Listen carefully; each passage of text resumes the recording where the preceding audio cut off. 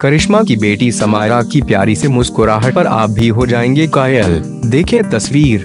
बॉलीवुड की अभिनेत्री करिश्मा कपूर अपनी जमाने की मशहूर अभिनेत्री थी। हालाँकि अब वो पिछले काफ़ी समय से फिल्मी दुनिया से दूरी बनाए हुए है।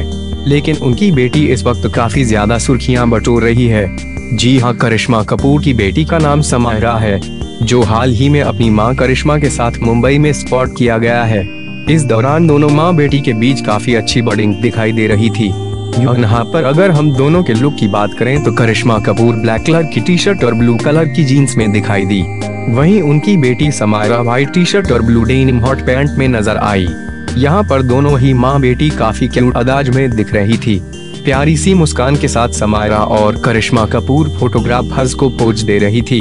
आप यहाँ तस्वीरों में खुद ही देख सकते हैं। वैसे आपको बता दें कि ये पहली बार नहीं है। अक्सर समायरा अपनी माँ करिश्मा के साथ इवेंट और एयरपोर्ट पर नज़र आती है। करिश्मा कपूर ने अपने पति संजय कपूर से कुछ ही समय पहले तलाक लेकर अलग हुई है। उनके दो बच्चे, एक बेटा और एक बेटी, यानी बेटी समायरा और बेटा कियान है। दोनों ही करिश्मा कपूर के साथ ही रहते हैं। वहीं ये भी बता दें कि करिश्मा इन दिनों एक बिजनेसमैन और संदीप तोशनीवाल के साथ रिलेशनशिप है।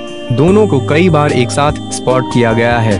पिछले दिनों तो खबरें कुछ ऐसी थी कि करिश्मा जल्द ही संदीप के साथ दूसरी शादी कर सकती है।